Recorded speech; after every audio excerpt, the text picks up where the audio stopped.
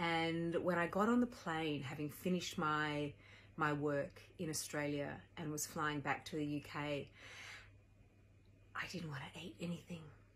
Now, I'm a food lover. I consider myself a bit of a foodie. In fact, eating is one of my great pleasures in life. So for me, to be sitting on a plane, being offered things like scrambled eggs and smoked salmon and champagne, all all of my favorite things, and to be turning them down and thinking, "Oh, I just I don't even want a cup of tea." That was a bit of a warning sign, I think, for me.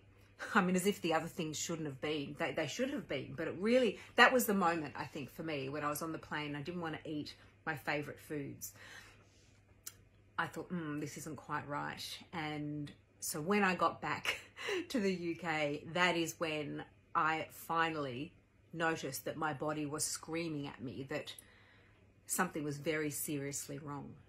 And if only I'd known that, sure, I was going to have December off, but not to relax and recuperate, to have major surgery, to have a five centimeter tumor removed from my colon.